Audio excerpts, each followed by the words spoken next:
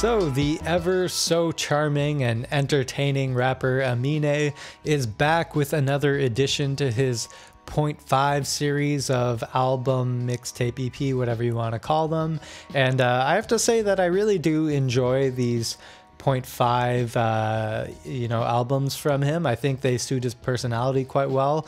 I like how they kind of create this low stakes anything goes sort of setting. And you know i, I like hearing him uh, in this kind of context where he doesn't take himself too seriously. I think it's quite nice so this time he's using the opportunity to explore a more hyper pop drum and bass sound with his music that uh, has become quite popular lately.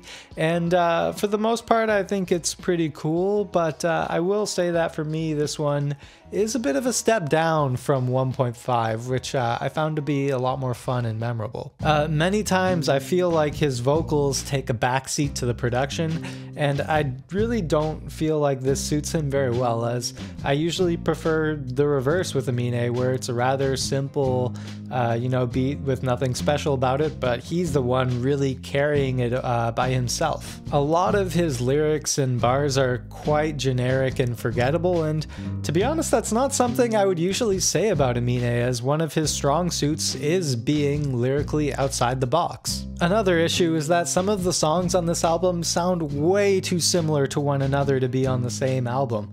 Uh, you know, sometimes I had myself looking back at the album and wondering if I'd already heard the song before. And I do think that that's especially problematic on such a short album. But I will say that I really did enjoy the last few run of tracks of the album, everything from Van Gogh onwards.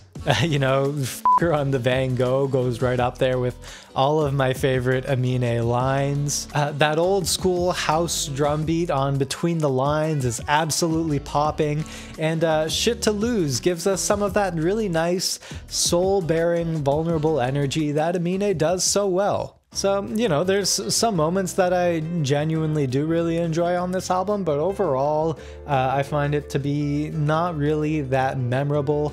And uh, if anything, it's got me excited to see how Aminé carries over this experimentation into his next LP. But, uh, you know, as far as this one goes, I gave it a 7 out of 10. I think it's alright.